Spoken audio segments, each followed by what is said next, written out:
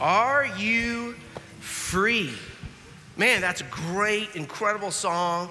Man, I love the gospel that is sung in that song that we are free. That the Lord Jesus has come to give us freedom. We're going to be in Acts chapter 21 this morning. If you have your Bibles, go ahead and turn over there. I want to take a few moments though, and I want to talk about why we've been in this series. We've been in the book of Acts, coming up on chapter 21. We called the series Unhindered. The reason we did that is because we want to be free in Christ. The word, the Greek word for unhindered, is the very last Greek word in the entire book of Acts, akaluto. I know that doesn't mean anything to you, but it means unhindered. It means that we are free in Christ, that we have been set free, we've been forgiven, that the Lord wants us to proclaim Him with all boldness. The scripture says, without hindrance. Is that the way that we live? Is that what we are experiencing? The reason we're walking through the book of Acts because it's a recording of real events. This is not theory. These are people who are experiencing God. They're experiencing His freedom. They're experiencing His power. They're experiencing His forgiveness. And we're watching the Lord come in and take a small group of people and radically change the world taking them and displaying in and through them his power and his presence. It is about the power of the Holy Spirit that we're experiencing through the book of Acts, and we're seeing the Lord break down barriers. We see the Lord invading people's lives and rescuing them, delivering them, bringing freedom, and seeing what this life looks like a life that is truly unhindered. And that's what we want to be as a church. That's who we want to be personally. We want to be a church that is ready to follow the Lord no matter what He asks from us. That we want to know Him and follow Him. And that's why this passage this morning is so key because it's about doing the will of the Lord. It's about saying, Lord, I know what you want from me, and I'm ready to do what you want, and how that is possible possible in our own lives, possible in the life of the Apostle Paul. Even though everyone around us may be saying, don't do that. The Lord is saying, Are you gonna follow me or are you gonna follow man? So, in the honor of God's word, if you would stand with me this morning, Acts chapter 21, beginning in verse number three, where Paul is beginning this finishing strong, where he is now making his way a journey to Jerusalem. Verse number three. When we had come in sight of Cyprus, leaving it on the left and sailing to Syria and landed at Tyre, for there was the ship was to unload his cargo. And having sought out the disciples, we stayed there for seven days. And through the Spirit, they were telling Paul not to go onto Jerusalem. When our days there were ended, we departed and went on our journey, and they all, with their wives and children, accompanied us until we were outside the city. And kneeling down on the beach, we prayed and said farewell to one another. Then we went on board the ship, and they returned home. When he had finished the voyage from Tyre, they arrived at Pol- Ptolemais, and we greeted the brothers and stayed with them for one day. On the next day, we departed and came to Caesarea, and we entered the house of Philip the evangelist, who was one of the seven, and stayed with him. He had four unmarried daughters who prophesied. While we were staying for many days, a prophet named Agabus came down from Judea. And coming to us, he took Paul's belt and bound his own, his own feet and hands and said, Thus says the Holy Spirit. This is how the Jews at Jerusalem will bind the man who owns this belt and deliver him into the hands of the Gentiles. When we heard this, we and the people there urged him not to go up to Jerusalem. Then Paul answered, What are you doing? Weeping and breaking my heart. For I am ready not only to be imprisoned, but even to die in Jerusalem for the name of the Lord Jesus. And since he would not be persuaded, we ceased and said, Let the will of the Lord be done. Pray with me this morning. Lord Jesus, we come before you this morning to do your will, to know you. Father, please reveal to us that which is keeping us from you. Father, may you please have your way with us. May we be honest about where we stand before you this morning. May we be honest about things that are keeping us from you. Father, may we truly, with sincerity, bow before you, experience the newness of life that is in you. Lord, we pray we pray, Lord Jesus, that we will experience your salvation, your deliverance, your renewal, your healing, and that, Lord, we will be truly be changed men and women this morning. We pray for this in the powerful name of Jesus. Amen. You may be seated. This passage continues to follow the journey of Paul. He is making his way to Jerusalem and he is visiting previous places that he's already been, places where God has formed a church, places where he's seeing God at work, and he's stopping and he's meeting with different groups of disciples. Last week we saw that he met, with the elders of Ephesus, and we saw what the Lord was communicating through Paul to them. And here we have the same situation where he's meeting with different disciples in different locations, and he's meeting some resistance. He's also meeting some reality of what is awaiting for him in Jerusalem. But the key, the key to this passage is that very last phrase there in verse number 14. It says, Let the will of the Lord be done. This, there's only one point to the sermon. Let the will of the Lord be done. Let God's will, let His desires, let His direction, let His plan be done. Here's the key Do we know what it is? And are we willing to follow? Do we know what God wants? Do we know where He's leading us? And are we willing to obey? Are we willing to lay it all down? That's the, that is the ultimate question. What does the Lord want? He wants us, He wants His will to be done. He wants us to know and follow Him. You know that's the phrase that we use here at church all the time. In that knowing means he wants a relationship with us. In that following, he desires for us to be obedient to him. And I'm telling you, to do the will of the Lord, there are two things that are absolutely necessary that we're going to see unfold from this particular passage. And that is one, your identity must be found in Christ and in Christ alone. Up here on the screen. And number two is that you must have a clear step towards Christ. To do the will of the Lord, those two things must happen. You must have a clear identity in Christ, and you must have a clear next step towards Christ. He will always lead you, hear me very closely. He will always lead us to Himself.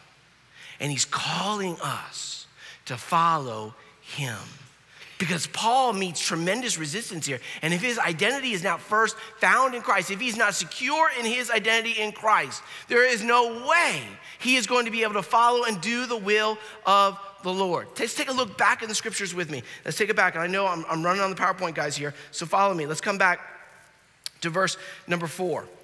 It says, And having sought out the disciples, we stayed there for seven days. And listen to this through the Spirit, they were telling Paul not to go on to Jerusalem and then let's jump and let's go all the way to, to, uh, to Agabus there in verse number 10.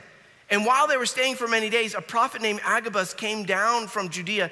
And coming to us, he took Paul's belt and bound his own feet and hands and said, Thus says the Holy Spirit, this is how the Jews at Jerusalem will bind the man who owns this belt and deliver him into the hands of the Gentiles. When we heard this, we and the people there urged him not to go to Jerusalem. Let's remember a couple things. These people loved Paul, they loved him. They didn't want to see anything negative happen to him, they didn't want to see anything bad take place in his life. And through the Spirit, God is revealing to Paul the difficult things that he is about to walk into. None of what they're saying plays out to be wrong. It all plays out to be right. We are going to see exactly what they say about Paul, about being bound up, about being chained, about being imprisoned, about losing his freedom, experiencing conflict. It's all going to happen. The Holy Spirit, God is giving him a preview of what is about to happen in his life. And he has a decision to make. Am I willing to walk into that difficult situation? And how is it even possible to walk into that difficult situation? Because what you're about to see is that Paul's identity in Christ trumps his circumstances. Hear that, people. Hear that. Write that down. You better tweet it out. You know what I'm saying? Christ and the identity that we receive from him is greater than anything we will experience in this world, positive or negative. Paul is saying to us the supremacy of Christ is greater. His, my relationship with him is greater. And he even pointed back to it back in chapter 20. Look at chapter 20, verse 24, up on the screen for you. But I do not account my life of any value, nor as precious to myself, if only I may finish my course and the ministry that I received from the Lord Jesus to testify to the gospel of the grace of God. Think about this very first phrase. I do not account my life to be of any value nor precious to myself. How can he say something like that? Is because Paul's got low self esteem? Is because he just doesn't really understand the value of life? No. He makes this statement based upon the value of Jesus. He understands the supremacy of Jesus. He understands the value of his relationship with Him. He's able to have a proper view of his life because of the greatness of His. Whoa! He's able to say, I understand the value of Christ. I mean, look at Philippians chapter 3. Look at the way he assesses everything that he's achieved in this world. And he achieved a lot in this world. But compared to Jesus, what does he say about all the accomplishments that he's achieved in this world? He says they're garbage, they're trash compared to him. What he's saying in this passage, what he's saying to all those who are telling him not to go to Jerusalem, he's saying to them, Jesus is greater. Jesus is greater. All that you're pointing out to me are losses losses in this world, loss of freedom, loss of peace. Hear me, but what he's saying is that I've already have those in Christ, and you can't take it away from me. Do you hear the come back? Come back to the passage. Come back to what he responds in verse number 13. Then Paul answered, What are you doing? Weeping and breaking my heart because he loved them. For I'm ready not only to be imprisoned, but even to die in Jerusalem for the name of the Lord Jesus. For the name of the Lord Jesus. He knows in whom he has believed. It says in 2 Timothy. But he also knows in whom he is following and obeying. And he says, I'm willing to die for his name. Why? Because his identity, he has a clear identity in Christ. Is that where you get your identity? Is that where I get my identity? Is my identity is secure in Jesus and Jesus alone? Or is it possible that actually my identity is coming from the things of the world? Where we compare ourselves to one another based upon our stuff, based upon our careers or education. And there's this constant comparison, and there's either a gain or a loss based upon how other people perceive or treat me. Is that how we live? Is this where we're gaining our identity? Because if you're gaining your identity from the world, you are lost. And your life There is a rotten core in the center of your heart, and it is destroying you. This week, I told you a couple weeks ago that I've identified that there are several trees on my property that are ash trees, they're dying of disease. And so finally, we just made that leap to find someone come in and take them all down, right? To get them out of there. They took a huge one down in my front yard. And when they did, in slicing that tree open, this is what, this is what it looked like in the middle of that tree. Let me tell you this that's not what it should look like, right? That's disease. That's rot in the middle. Literally, I took my hand and I just pressed it right through the middle of that piece of wood. That's not how a tree should be. Our lives are very close to reflecting this. When our lives are not found in Christ, when we are not surrendered to Him, when we are just trying to find ourselves in the things of this world, we are rotten to the core.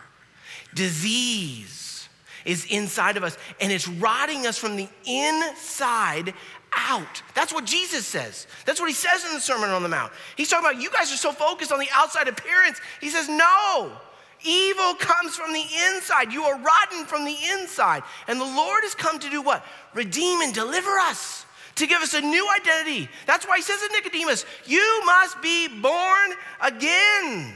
You are a new creation in Christ. The old is past and the new has come. Is our identity fully found in Christ and Christ alone? I'm telling you, that's how Paul is able to say, I'm ready to go and be imprisoned. I'm ready to go die in the name of Jesus because my identity is secure in Christ. All that they were pointing out as loss, he's saying, I'm not focused on the loss, I'm focused on the gain. I'm focused on Jesus. I'm focused on to live is good, but to die is what? Is gain. He gets it all in Christ.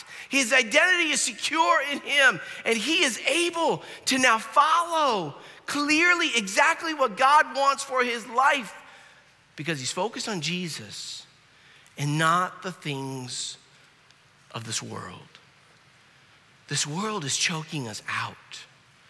This world is hurting us in our pursuit of Jesus. We are so enamored with the things of this world. We're so enamored with people of this world. We're so enamored with just all that this world has to offer. And I'm telling you, there's only one king. There's only one who can give us peace that defies understanding.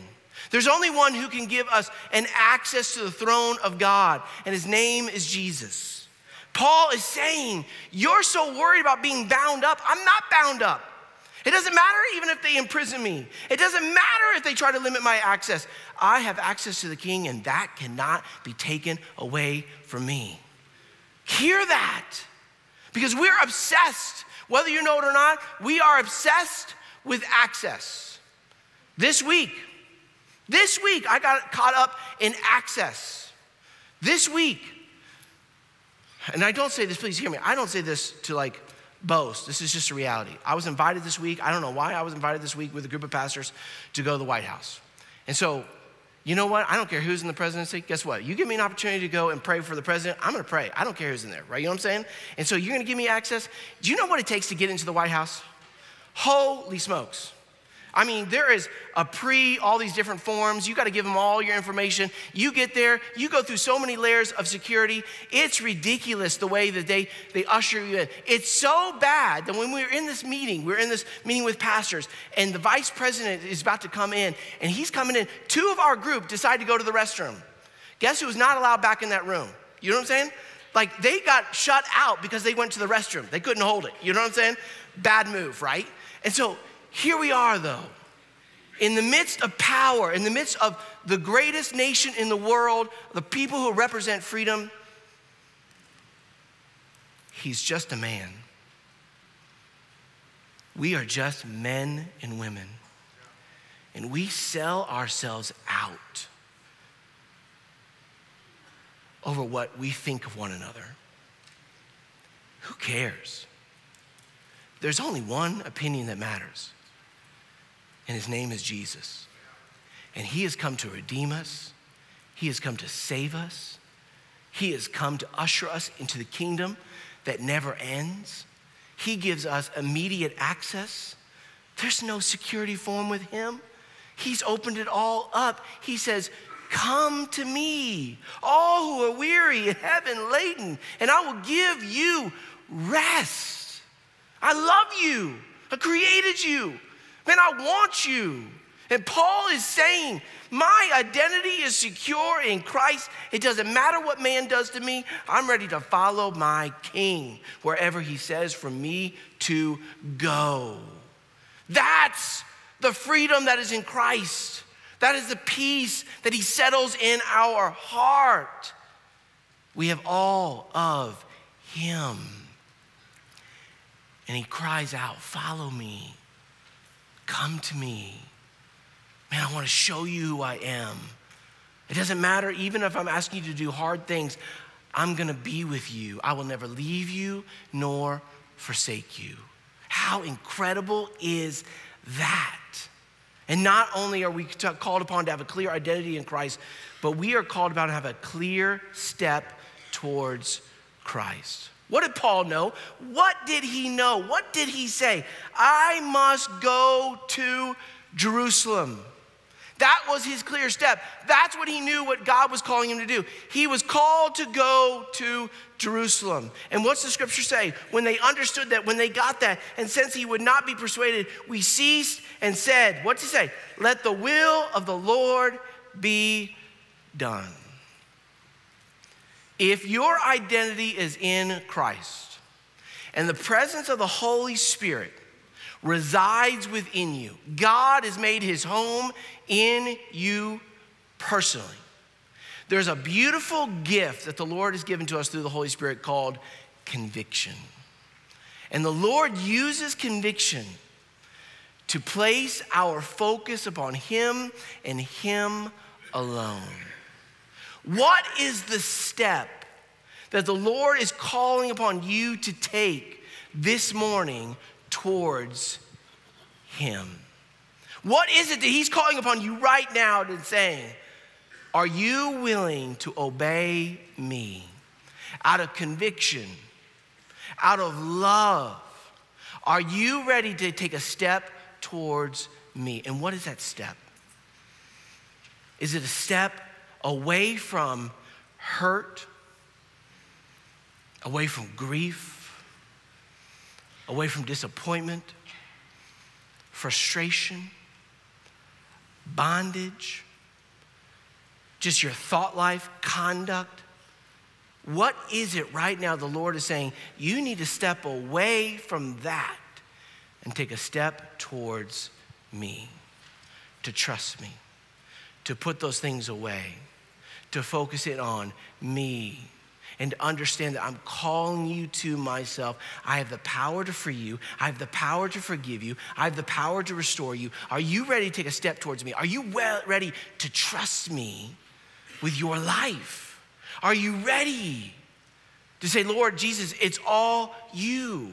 I'm ready to take a step towards you. I'm ready to surrender to you that which is holding me back. I'm telling you, there's no way, personally and corporately, we are going to live the life that God has called us to live to be unhindered until we're ready to surrender it all to Him. No way. And there's so many of us who are here this morning, and our testimonies are just like Allison that we heard this morning. You know the right information, you know it. If somebody came to you right now and said, Tell me, how does someone get saved? Tell me about Jesus. You would have the right information, but you've never actually followed him. You've never embraced him, I think is the word that she used. She's not, she was not living for him. That testimony is common in our world. And the Lord is rooting that out. And He's saying, Are you really gonna follow me? Are you really gonna surrender to me? Are you gonna let me change your life? Or are you just gonna be about a set of information that doesn't actually transform you at all? Because we were made for a relationship. Is your identity in Christ clearly? And are you ready to take a clear step towards Him? This is about God's will. He's calling you, He's revealing to you. That's why we come to His Word. Lord, what is your will? And I'm telling you, He is calling you to Himself. And are you ready to put aside that which hinders and to experience the freedom that is in Jesus and in Jesus alone? Pray with me this morning. Lord Jesus, we come to you, and Father, we come to you humbly, and we come to you in a moment of response. With all heads bowed and eyes closed. This is about Jesus right now. This is about a response. This is not, this is not,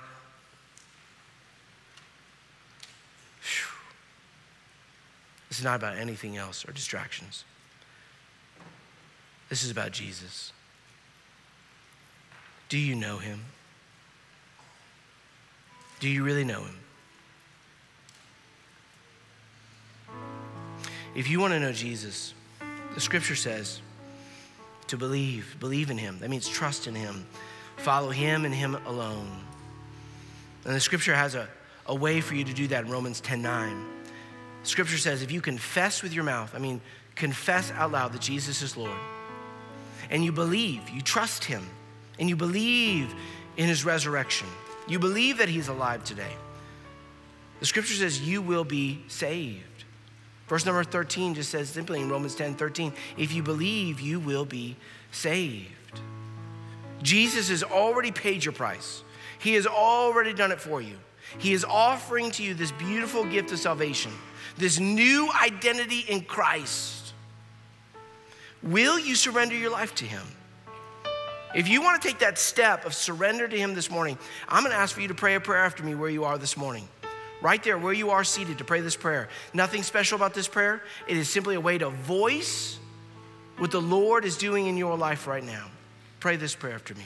Lord Jesus, Lord, I ask right now, Lord, I ask for the forgiveness of sin. And Lord, I confess with my mouth that you are Lord this morning. And I believe in my heart Lord, that you died for my sin. And I believe in my heart that you arose again from the dead. And I believe in my heart that you give me forgiveness and the newness of life. And Lord, I surrender my life to you this morning. And I pray for this in the name of Jesus. With all heads bowed and all eyes closed. If you prayed that prayer this morning, I'm going to ask for you to raise your hand where you are. If you prayed that prayer, raise your hand where you are. Don't be shy. Thank you, several of you. Wow, a lot of you across this room. Amen. The rest of you here this morning, if you are a believer in Christ, what's your next step towards Him? What is the Lord asking you to do? Is He asking you to walk away from something that's holding you back? Is he asking you this morning to go and to share the gospel with someone around you? What is that next step towards the Lord that he's calling to you this morning? Lord Jesus, give us the strength and the courage to respond, to not hold back. Father, to really pray this morning, to lay our lives down before you this morning. Father, to let you have your way with us this morning. Father, we just pray you will do a beautiful, perfect, eternal work this morning in us. And we pray for this in the name of Jesus.